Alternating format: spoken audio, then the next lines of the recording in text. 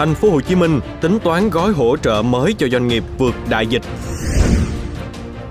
Nhãn giá rẻ tràn ngập đường phố thủ đô do ảnh hưởng của Covid-19.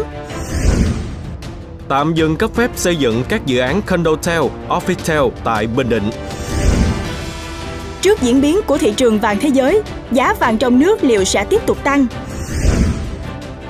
Hơn 20 năm trải qua những cung bậc cảm xúc khác nhau trong ngành cà phê, khởi nghiệp lần thứ hai với khát khao đưa thương hiệu cà phê Việt vươn tầm thế giới, cùng gặp gỡ nữ doanh nhân ngày hôm nay.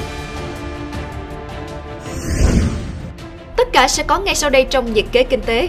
Thưa quý vị, tôi là Thùy Linh. Tôi sẽ đồng hành với quý vị trong 20 phút sôi động của chương trình ngày hôm nay.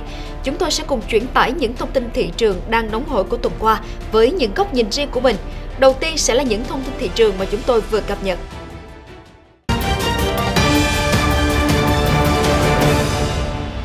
Theo Cục Thuế Thành phố Hồ Chí Minh, tính đến hết tháng 7 năm 2020, có 21.226 doanh nghiệp ngừng kinh doanh và giải thể.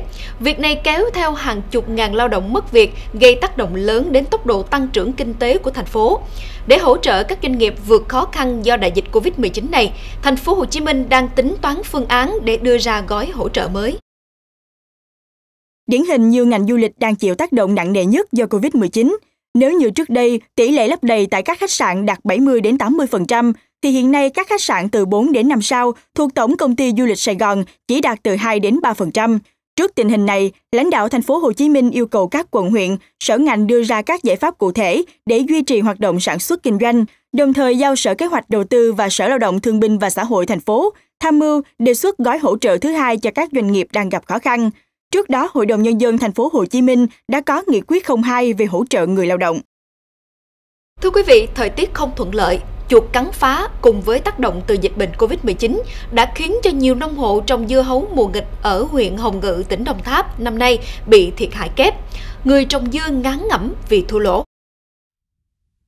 Nhiều năm trồng dưa hấu mùa nghịch, nhưng chưa năm nào ông Phạm Minh Vương, ngũ xã Thương Phước 1, huyện Hồng Ngự, tỉnh Đồng Tháp, ngao ngán như năm nay vì bị thiệt hại kép. Sau gần 2 tháng chăm sóc, đến thời điểm thu hoạch thì giá dưa hấu chỉ ở mức thấp do ảnh hưởng dịch Covid-19. Không những thế, năng suất dưa hấu giảm mạnh do thời tiết và chuột cắn phá.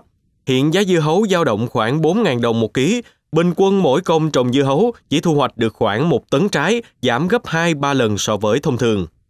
Hiện nay không chỉ mặt hàng dưa hấu xuống giá, giảm năng suất mà nhiều loại nông sản khác đều chịu chung tình cảnh này, một phần do ảnh hưởng dịch Covid-19 và thời tiết.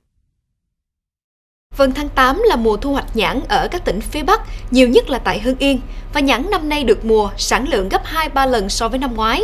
Song do ảnh hưởng của dịch Covid-19, xuất khẩu và giao thương trở nên khó khăn, ảnh hưởng đến việc tiêu thụ nhãn của bà con.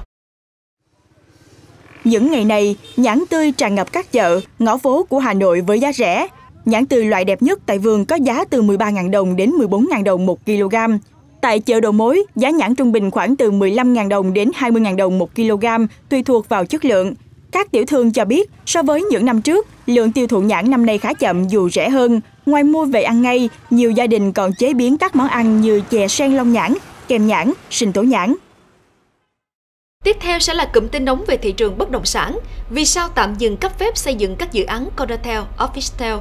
Những quy định mới về lãi suất cho vay mua nhà ở xã hội năm 2020 thế nào? Mời quý vị cùng tiếp tục theo dõi. Mới đây, Hiệp hội Bất động sản Thành phố Hồ Chí Minh đã có văn bản kiến nghị về việc hoàn thiện khung pháp lý cho Condotel. Trong khi đó, tại Bình Định sẽ tạm dừng cấp phép giấy phép xây dựng đối với các dự án có tính chất căn hộ du lịch, biệt thự du lịch được xây dựng trên đất ở không hình thành đơn vị ở đối với dự án chưa cấp phép.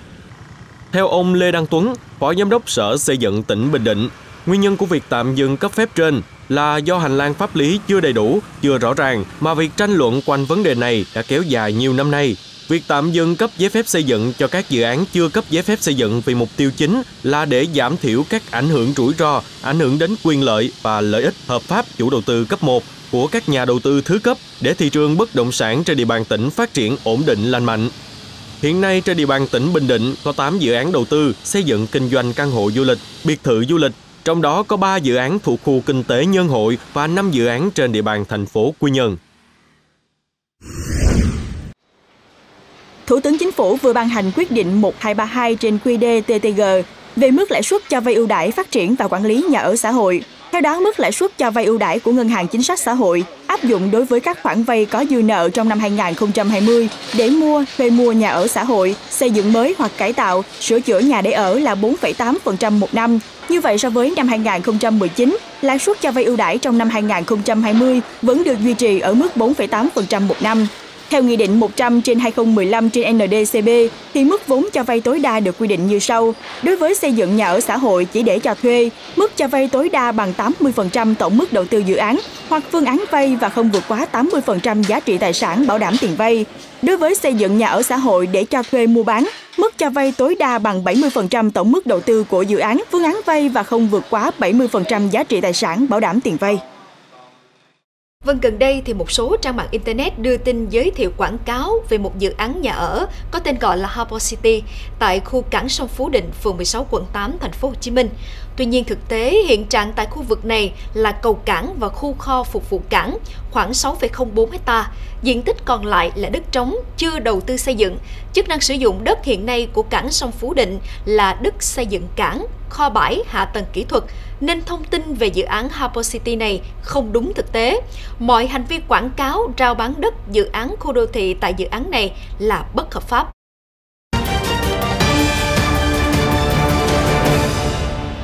Thưa quý vị, sự biến động mạnh của giá vàng nhiều tuần qua đã khiến nhiều nhà đầu tư và người mua vàng băn khoăn.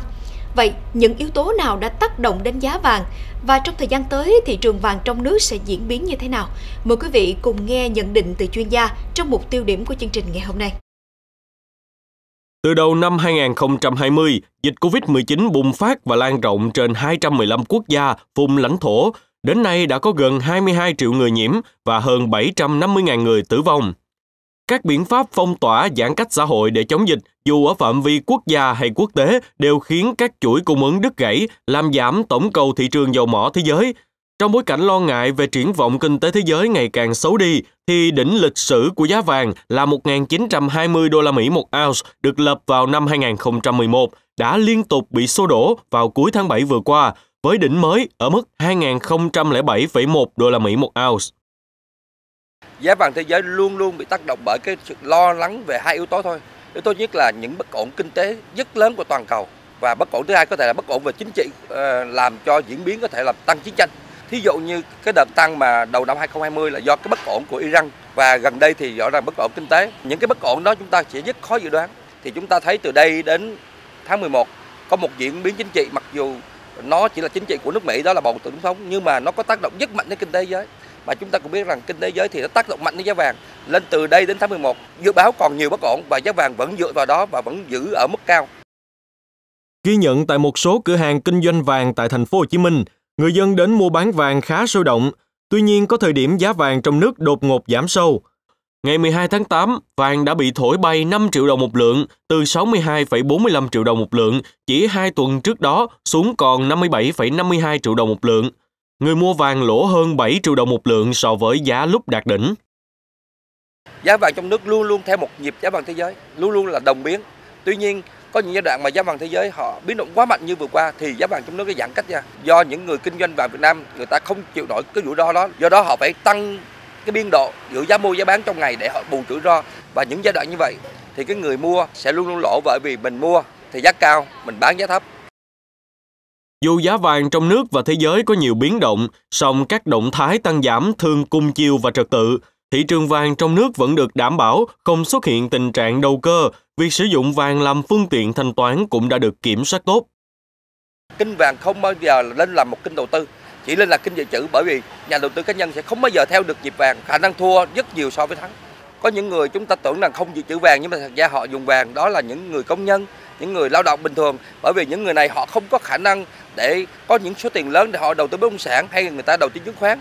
Thì người ta sẽ mua lãnh lương người ta để dành mua từng chỉ vàng để dành. Thì vàng chỉ xem như một cái công cụ dự trữ để đừng có lạm phát. Trong tuần qua, giá vàng thế giới chịu áp lực giảm, nguyên nhân được cho là do lợi suất trái phiếu tăng trở lại khi đón nhận những thông tin tích cực về vaccine chống COVID-19. Tuy nhiên, nhiều chuyên gia, tổ chức lớn trên thế giới đồng tình rằng giá vàng vẫn sẽ tiếp tục ở mức cao trong trung và dài hạn. Từ những nhận định của chuyên gia, người mua vàng cần lưu ý xu hướng giá vàng hiện không chắc chắn vì còn phụ thuộc vào diễn biến dịch bệnh và sự hồi phục của nền kinh tế trong thời gian tới. Do đó, cần hết sức cẩn trọng, đa dạng hóa các danh mục đầu tư thay vì chỉ tập trung vào vàng.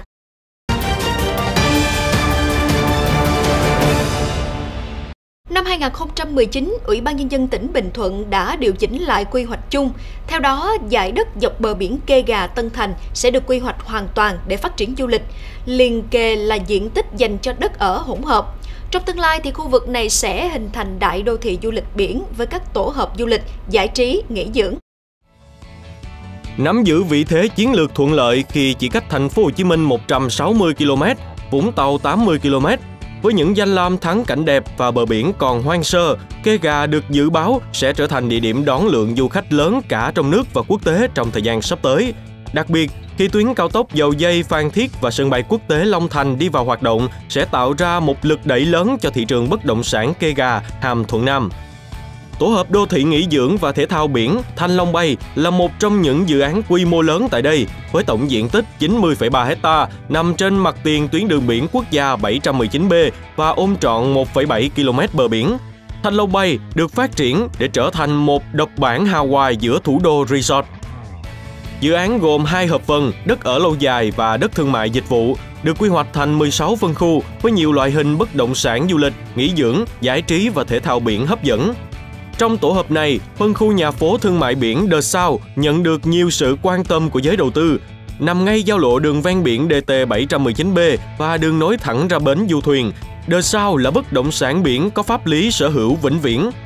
Lấy cảm hứng từ mô hình kinh tế đêm sôi động trên thế giới như Seoul, Tokyo, tập đoàn Nam Group đã phát triển 4 cụm phân khu nhà phố thương mại với diện tích từ 108m2 đến 300m2 Mặt tiền trước là đường nội khu lớn, sầm uất thuận lợi cho kinh doanh dịch vụ. Mặt tiền sau là công viên gần 2.000 m2 xanh mát. Kiến trúc này giúp phát huy tối ưu công năng và tối đa lợi nhuận. Không chỉ có thể khai thác được các loại hình kinh doanh như nhà hàng, khách sạn, cửa hàng, cà phê, bar, mà còn có thể thu lợi nhuận kép hấp dẫn từ việc sử dụng các tầng trên để khai thác cho thuê homestay, Airbnb. Đời sau được định hướng sẽ trở thành một phố đêm sôi động bền vịnh biển biến kê gà trở thành một thành phố không ngủ với những trải nghiệm bất tận cho du khách. À, chỉ tầm đâu khoảng một tỷ rưỡi thôi là mình đã có thể sở hữu nhà phố rồi. À, còn khi nhận nhà thì à, nếu như mà mình khai thác à, kinh doanh á, thì mình được hỗ trợ thêm cái gói là 300 triệu nữa. Còn nếu như mà không khai thác thì mà bên chỗ Nam Group thì có cam kết là mua lại 12% sau 2 năm. Ừ, như vậy thì mình cũng thấy an tâm nếu mà cho dù là đầu tư hay là mua để làm cái sản phẩm để mà tận hưởng để dành. Theo đại diện Nam Group, nhằm hỗ trợ nhà đầu tư có cơ hội sở hữu một bất động sản biển tiềm năng trong bối cảnh dịch Covid-19, Nam Group mang đến chính sách đầu tư an toàn mùa dịch Covid-19. Trong đó khách hàng dễ dàng sở hữu nhà phố The Sao khi thanh toán chỉ 1,5 tỷ đồng, 30% giá trị sản phẩm đến khi nhận nhà. Trường hợp nhà đầu tư không muốn tiếp tục đầu tư sau khi nhận nhà, Nam Group cam kết mua lại với lãi suất 12% như một sự bảo toàn vốn và lãi tối thiểu cho nhà đầu tư. Đặc biệt, khách hàng còn được hỗ trợ lên đến 300 triệu khi khai thác vận hành kinh doanh tại đây. Ngành nông nghiệp Phú Yên đang triển khai các biện pháp đảm bảo an toàn phòng dịch để chuẩn bị đón 500 con bò sữa chất lượng cao đầu tiên được nhập về trang trại bò sữa công nghệ cao Phú Yên thuộc tập đoàn TH đầu tư tại xã Sơn Định, huyện Sơn Hòa vào đầu tháng 9 năm 2020. Hiện tại, trang trại bò sữa công nghệ cao Phú Yên đã hoàn thiện các khu cuối cùng để đón đàn bò đầu tiên. Do đó, công tác tiêu độc, khử trùng, tiêm phòng đang được ngành thú y tỉnh Phú Yên tích cực triển khai tại khu vực trang trại và hộ gia đình có chăn nuôi đàn gia súc tại địa phương trong bán kính tối thiểu 10 km. Dự án trang trại chăn nuôi bò sữa tập trung quy mô công nghiệp công nghệ cao tại Phú Yên do công ty trách nhiệm hữu hạn trang trại bò sữa công nghệ cao Phú Yên thuộc tập đoàn TH đầu tư, khởi công xây dựng từ năm 2018, được chia làm hai giai đoạn, Giai đoạn 1 có tổng vốn đầu tư là 1.151 tỷ đồng, trên diện tích đất sử dụng là 81,9 hecta sẽ xây dựng trang trại nuôi 5.000 con bò.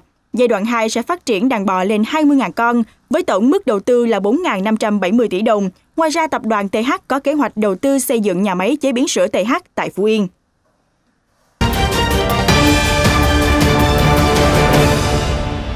Vị, với hơn 20 năm trải qua những cung bậc cảm xúc khác nhau trong ngành cà phê, nữ doanh nhân Lê Hoàng Diệp Thảo đồng sáng lập tập đoàn cà phê Trung Nguyên, giờ đây viết tiếp giấc mơ cà phê với King Coffee với khát khao đưa thương hiệu cà phê Việt vươn tầm thế giới. Có thể nói thương hiệu King Coffee ra đời được ví như lần khởi nghiệp thứ hai của nữ doanh nhân Lê Hoàng Diệp Thảo. Một thương hiệu hình thành là cả một quá trình mà trong đó phải kể đến là sự khát khao chinh phục thị trường, nâng tầm cà phê Việt ra thế giới. Và ngày hôm nay, chúng ta sẽ cùng nghe những chia sẻ về câu chuyện kinh doanh lúc thăng lúc trầm của bà Lê Hoàng Diệp Thảo quý vị nhé.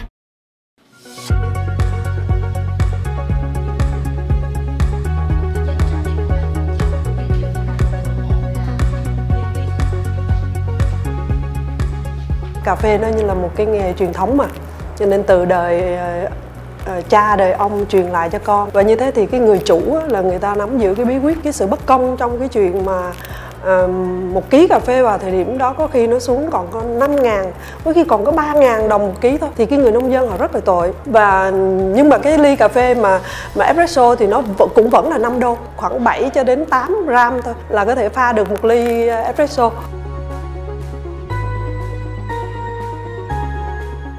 Mình nhận thấy nó có một cái cái cái điểm bất công và mình cũng thấy rằng á, đó là một cái mà cơ hội.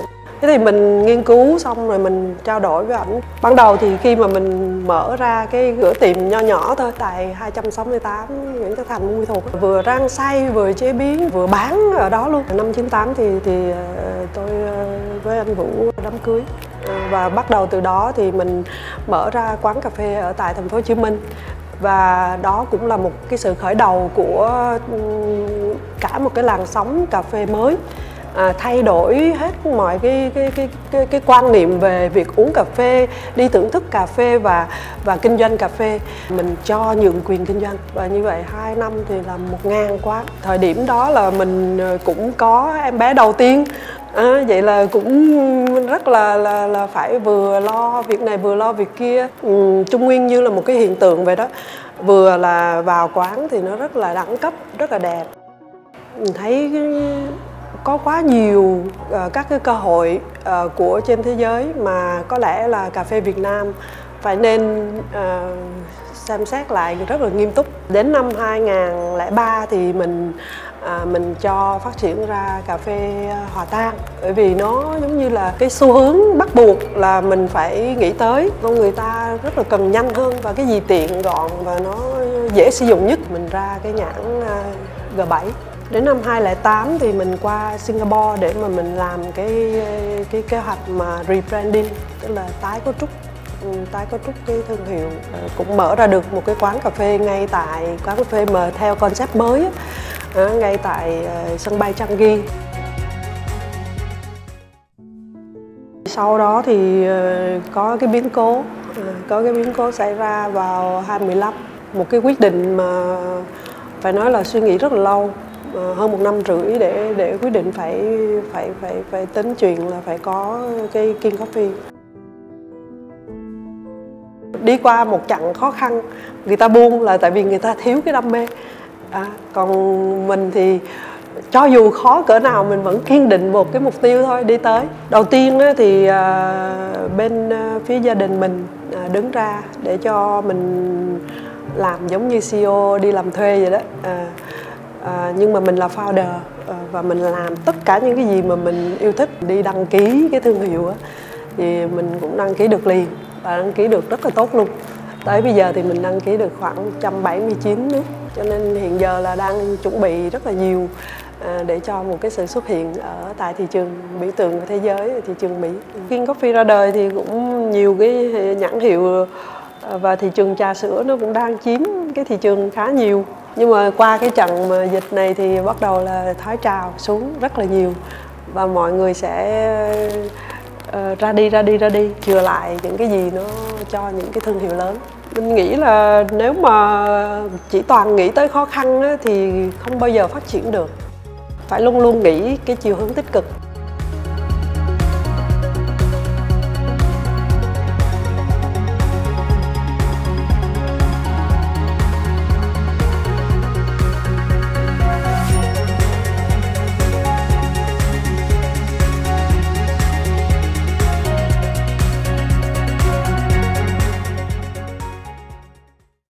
Chuyện doanh nhân vừa rồi cũng đã khép lại chương trình hôm nay của chúng tôi. Thùy Linh cùng ekip thực hiện chương trình. Kính chúc quý vị có một ngày thật vui và hạnh phúc bên gia đình.